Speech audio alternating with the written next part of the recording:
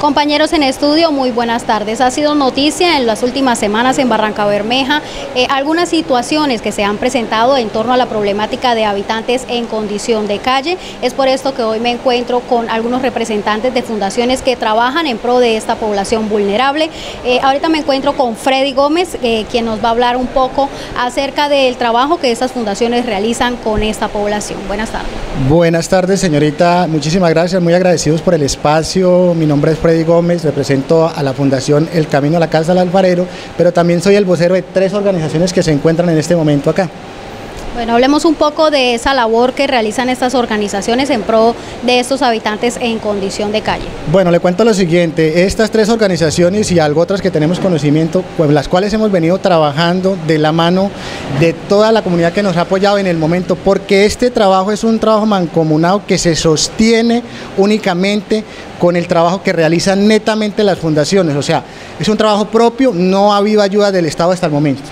Bueno, ustedes se encuentran hoy acá como en una especie de reunión planteando pues algún lo que sería algunas propuestas para el gobierno local pues para que ellos también aporten, digamos, o en conjunto con ustedes puedan trabajar para que eh, esta problemática minimice aquí en la ciudad. Hablemos un poco acerca de esa propuesta que tienen ustedes para el gobierno local. Bueno, usted lo ha dicho y en cuanto a eso tengo que decir algo. Nosotros hemos venido planteando una serie de alternativas en todos los gobiernos. Yo he sido uno de los abanderados de este tema y he estado en algunas mesas, he estado tocando puertas en algunas secretarías directamente con el alcalde anterior y con el, el que antecedió al señor Alfonso El Haas y ningún alcalde ha puesto los ojos en esta población. ¿sí? Hoy en día nosotros, en el gobierno pasado, se creó eh, del gobierno nacional una política pública para habitantes de calle. Nosotros buscamos los espacios con el gobierno anterior, de hecho ellos en algo accedieron a que nosotros participáramos en la construcción de la política pública, pero en el momento desconocemos eh, en qué quedó eso y en qué quedó el documento.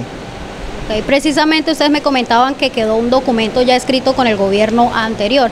Que este sea el espacio para que ustedes hagan ese llamado al gobierno actual para retomar precisamente este tema con los habitantes en condición de calle. Este, este espacio que ustedes nos están brindando lo estábamos buscando hace rato con las organizaciones, con los muchachos aquí presentes.